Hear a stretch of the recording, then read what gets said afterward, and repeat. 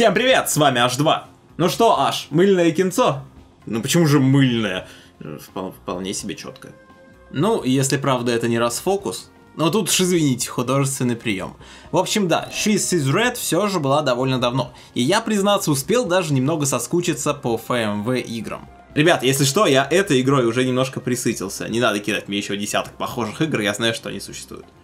Так что у нас сегодня представитель этого жанра. Игра Эрика, вышедшая еще полтора года назад на PlayStation, она наконец-то решила заехать и в Steam, при этом прихватив нормальные региональные цены для России в чуть менее 300 рублей. Так чем же игра нас будет радовать за эту сумму?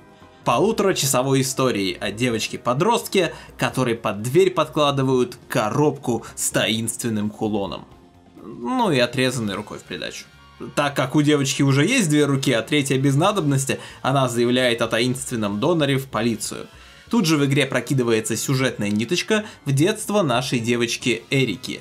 Мол, в детстве некий неизвестный маньяк вырезал на ее отце рисунок, очень похожий на тот, что изображен на кулоне. Местный коп, зная это, предлагает девочке не оставаться одной дома, это все-таки небезопасно, а поехать в более комфортное и уютное место, находящееся под усиленной защитой, а именно в психбольницу, которую некогда основал ее отец. О нет, спасибо, я уже достаточное количество игр поиграл, чтобы знать такие вот приколы. Давайте лучше какое-нибудь место побезопаснее поедем. Ну хотя бы на скотобойню.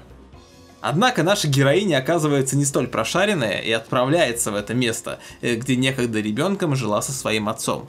Дальше мне не хотелось бы сильно спойлерить. Скажу только, что появится несколько сторон силы, которые будут пытаться продать нам свою правду. Одного взгляда на которую будет достаточно, чтобы понять, что и там, и там товарчик-то с гнильцой.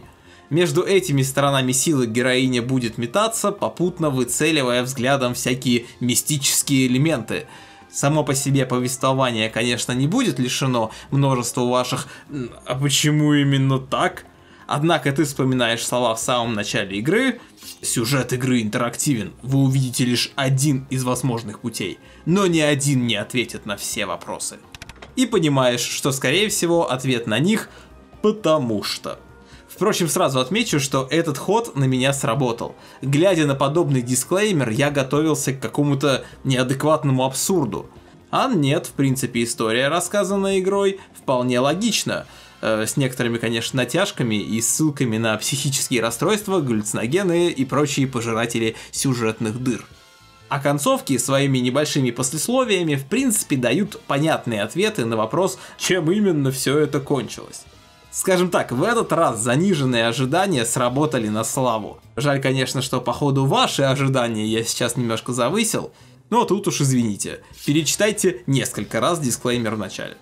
И хотя в FMV играх большое значение имеет то, как все снято, где все снято и прочие кинематографические нюансы, но я в них, к сожалению, не слишком силен, поэтому давайте по ним вкратце.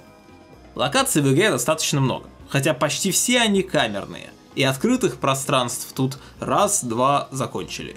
Актерская игра мне показалась удовлетворительной. Боевых сцен почти нет. Напряжение в игре нагнетается, но почти всегда такое немного беззубое.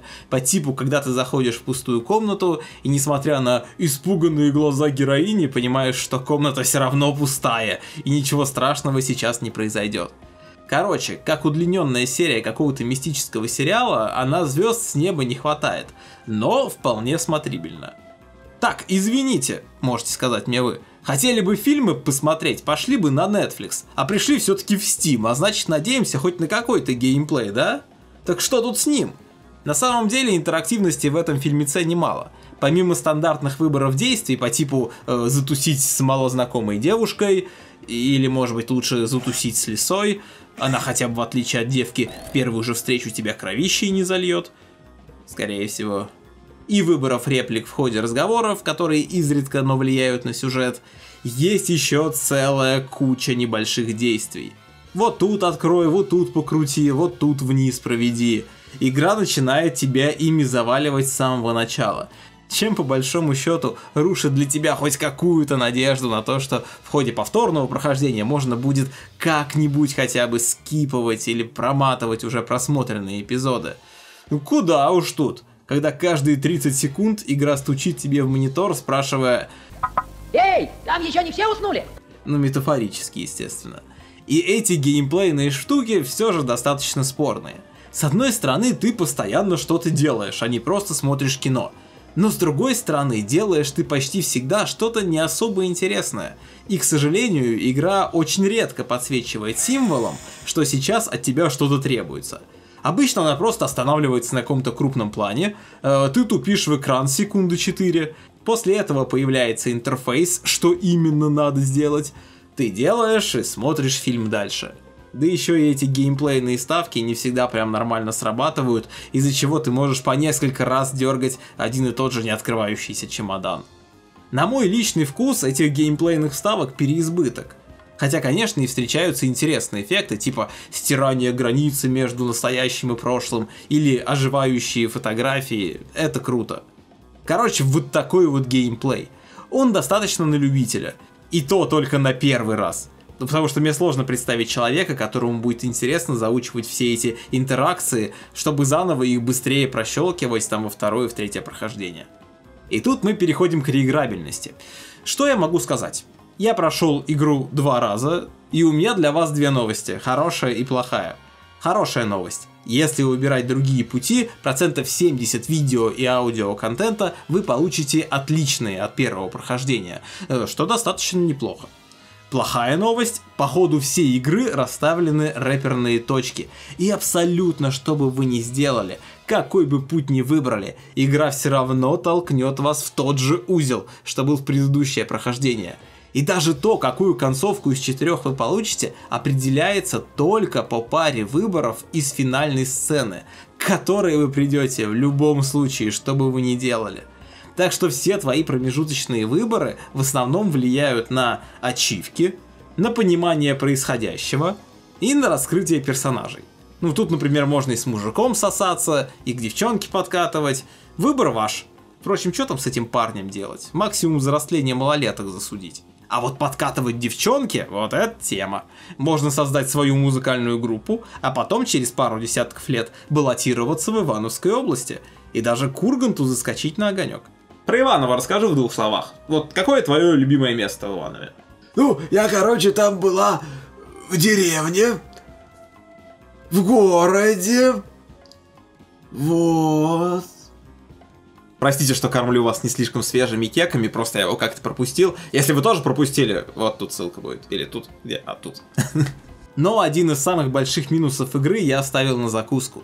Ведь несмотря на то, что в игре есть и субтитры, и достаточно качественная русская озвучка, какого-то черта не переведены документы. Вообще не переведены ни сабами, ни озвучкой. Так мало этого, даже рукописные тексты не переведены. Так мало и этого, они еще и на время показываются, и после окончания невидимого таймера документы убираются, и их нельзя заново посмотреть. Это прям какой-то epic fail. Запариться с хорошей русской озвучкой, но споткнуться о перевод текстов. Резюмируя, несмотря на озвученные проблемы, я получил удовольствие от этой игры.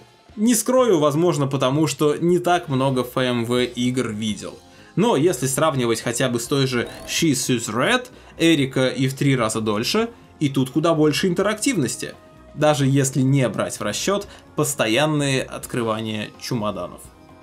Вот так вот. А пока что с вами был H2. Увидимся в следующий раз.